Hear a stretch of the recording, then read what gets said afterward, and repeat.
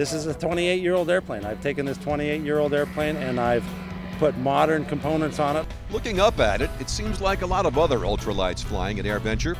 But this Lazair and the man behind it have connections to Glenn Curtiss, the father of naval aviation. We'll come back to that. First, the airplane, which used to be powered by gasoline. Now, batteries. Stem from the model airplane industry.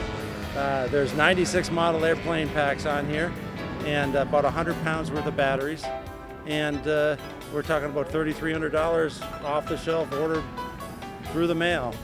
Kramer says flying it costs about $11 an hour, including charging the batteries that power the brand new motors. They're about 10 kilowatts apiece, which is about 13 horsepower, and uh, they've got a very efficient design to keep it cool. That's why the, there's only one moving part on the motor as the, the propeller is connected to it, and there's two bearings in it. So not much can go wrong, except overheating it. Kramer says the batteries can be charged in as little as an hour and a half. And flying? The biggest difference is that idle on an electric airplane is zero RPM. Uh, you pull the throttles back, the props stop.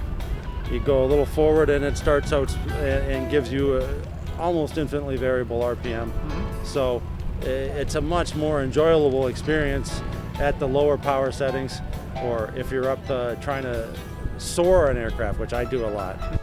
Now, about the connection to Glenn Curtiss, the father of naval aviation.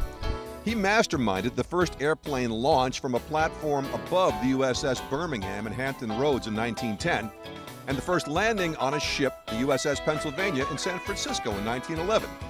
Kramer lives in a house Curtiss built in Hammondsport, New York, near the Curtiss Museum. I took a piece of the siding from the house and I made my instrument panel out of some Glenn Curtiss wood.